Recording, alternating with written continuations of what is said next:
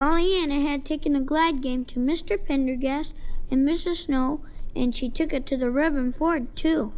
On the day before the bazaar, her Aunt Polly sent her with a message to the Reverend.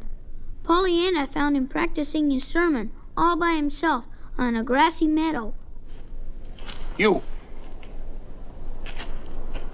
What are you doing here? Oh, nothing. Um, I mean, I was looking for you. Uh, Aunt Polly sent you this. Now, what is it? Uh, I don't know. I'm sorry I disturbed your practice.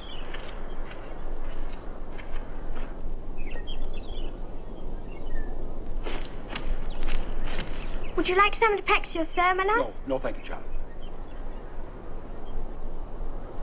Uh, Mother and I used to be an audience to my father when he was practicing his sermons. He, he was a minister too, you know. Oh, yes, yes, so he was. Uh, do you like being a minister? Do I like being a... Now, why would you ask a thing like that? Oh, the way you looked just then reminded me of my father. Once I saw him sort of sad like that, and I asked him, And what did he say? Hmm.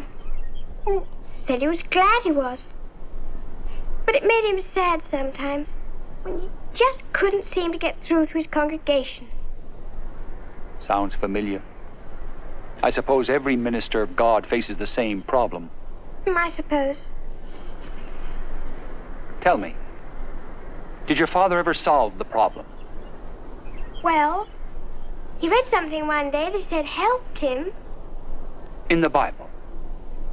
No, just something he read someplace. He had it put on this chain. He wore it always. It's all I have of his.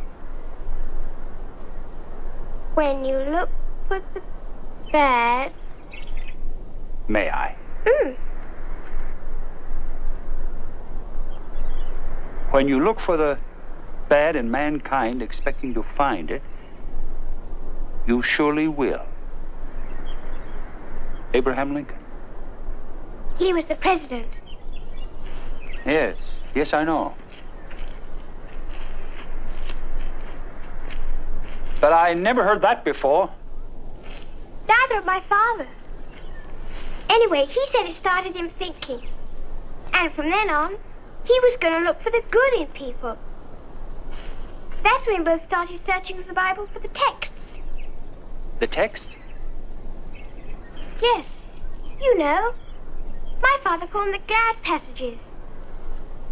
You know, the happy ones, like, um, uh, shout for joy, or be glad in the Lord. You know, like that. There are 800 happy texts. Did you know that? No, I didn't know that. Yes, well, there are. And you know, my father said, if God took the trouble to tell us 800 times to be glad and rejoice, he must have wanted us to do it.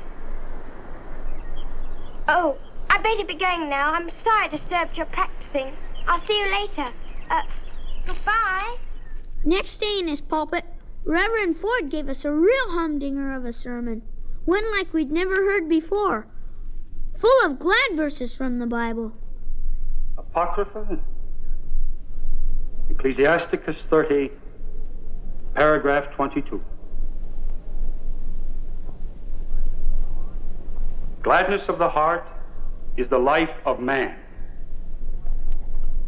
Now, this is one of the rejoicing or happy texts. A young member of our parish pointed out to me that there are 800 such happy texts in our Bible. Well, she was wrong. There are, to be exact, 826. I know because I stayed up most of last night counting them. I intend to read one of them every week. And that should take us, according to my calculations, through 16 years. If I'm around here that long.